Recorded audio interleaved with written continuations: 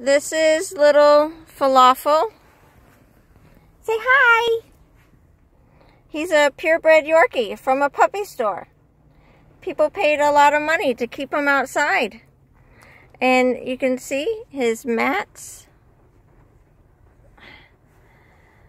That's not his spine. This is all actually one huge mat down his spine. This is what she called grooming. Ugh, gross. Falafel, you got all kinds of stuff all over you. Eye schmutz and burrs and mats and...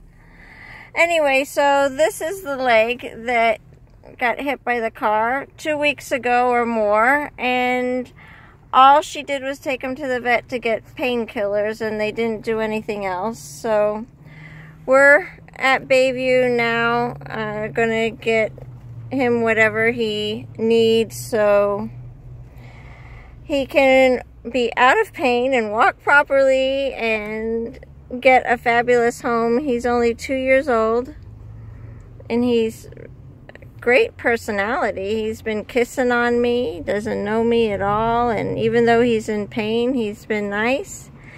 So, this is Falafel Yorkie, two-year-old male.